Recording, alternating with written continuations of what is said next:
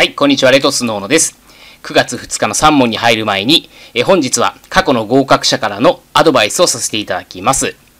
1点を大切にしてください。これからの勉強は1点を確実に取る勉強をしていきましょう。今まで不合格だった方は必ず原因があります。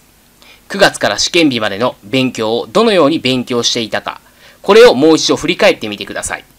確実な1点をどこで取り、試験当日までどのような勉強をしていくか、具体的な計画をきちんと立てるようにしましょう。これからの勉強の注意点、よかったら参考にしてみてください。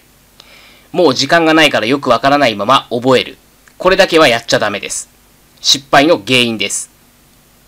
問題が解けるようになった、イコール理解できた、ではないので注意をしましょう。同じ問題を繰り返せば理解できていなくても、覚えているだけで解けてしまいます。そのため、過去問等で40点以上取っている方も、本試験で落ちてしまうんです。何回受験しても本試験で得点が伸びない方はなぜ得点できないのかをよく考えてみましょう。これが過去の合格者からのアドバイスです。もうこれまさしく私も同じように思っていることなんですね。特にもう過去で1回以上落ちている方っていうのは何かしら原因があるんですよ。同じ勉強をしていても同じように落ちてしまうだけなので、単に勉強量を増やすだけじゃなくて、理解しているのかをちゃんと確認しなさいよっていうことをこの合格者さんは伝えたかったんですよね。多くの方がここに書いてある通り、問題が解けるようになったイコール理解できたって思い込んじゃうんですよ。これが注意なんですよね。解けるのと理解できるっていうのは違いますので、理解すべき問題はちゃんと理解をしていきましょう。ということです。それでは本日の3問に入っていきます。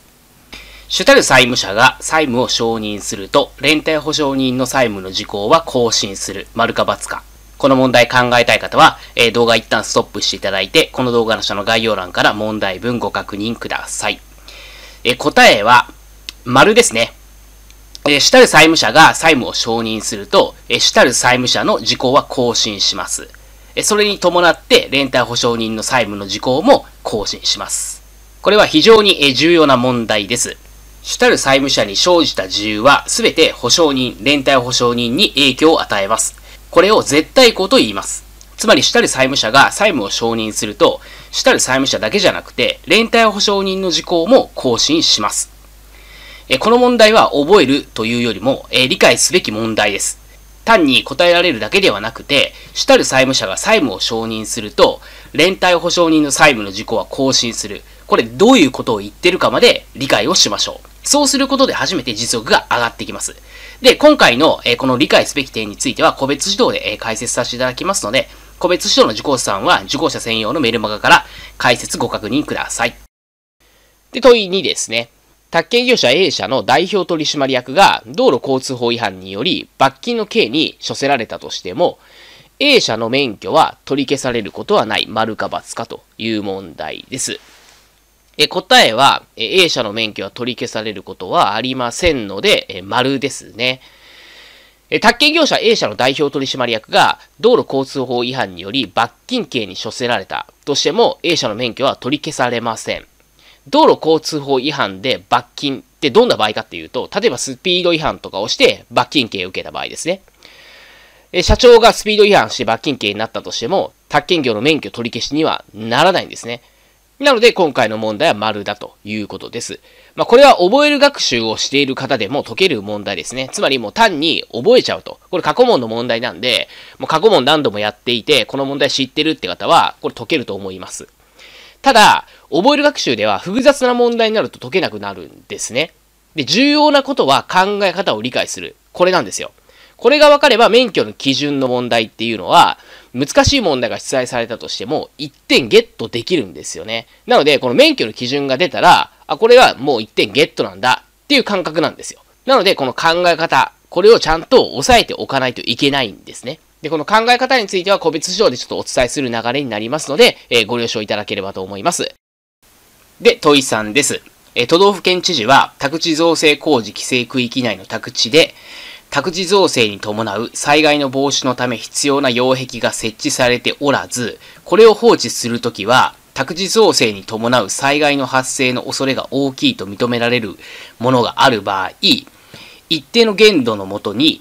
当該宅地の所有者、管理者、または占有者に対して擁壁の設置を行うことを命ずることができる、丸か×かという問題です。えまず、擁壁なんですけども、これはですね、まあ、イメージとしてはコンクリートの壁です。崖とかが崩れないように、コンクリートブロックみたいなので、壁になってるようなものあると思うんですよ。例えば、道路の、え隣だったりとか、道路の横が崖になっていた時にコンクリートで壁にされていたりとか、えあと、ちょっと高いところに建物を建てる場合、その建物の土台部分ですね。建物の下が、えー、擁壁、壁になってる、コンクリートの壁になっていたりとか、まあそういったものと考えていただければ大丈夫です。で、これ宅地造成をするってことは、まあこれ工事をするんですけども、これ工事をした時に、崩れてくると危ないですよね。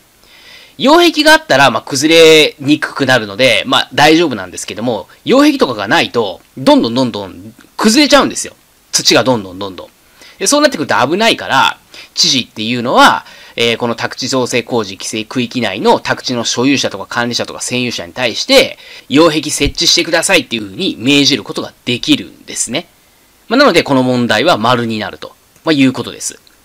で、まあ、これはですね、改善命令と呼ばれるものなんですけれども、まあ、先ほどね、お伝えした内容でわかると思います。で、一定限度っていうのは災害の防止のために必要な限度、かつ土地の利用状況等から見て相当であると認められる限度を言うんですけども、ちょっとこれ分かりづらいですよね。なのでもう単純に必要な範囲内で改善命令できますよと。必要以上の改善命令はできませんよと、まあ、いうことです。まあ、イメージとしてはこんなもんで全然問題ありません。そして、今販売している予想模試は、実際個別指導や短期講座で教えているような解説をしています。理解学習ができていない方、予備校や通信講座、市販の過去問やテキストを丸暗記していて、理解できているか不安だという方、点数がまだ上がってこない方、こういった方はぜひ、弊社の予想模試で理解学習を体験してみてください。こうやって理解するのか、こういうことだったのか、新たな発見や理解、さらには頭の整理まで行います。試験まであまり時間ありませんので、今から真の実力をつけていきましょう。レトスの予想模試については、この動画の下の概要欄から内容をご覧ください。今日も最後まで動画ご覧いただきましてありがとうございました。レトスの小野でした。今年絶対合格しましょう。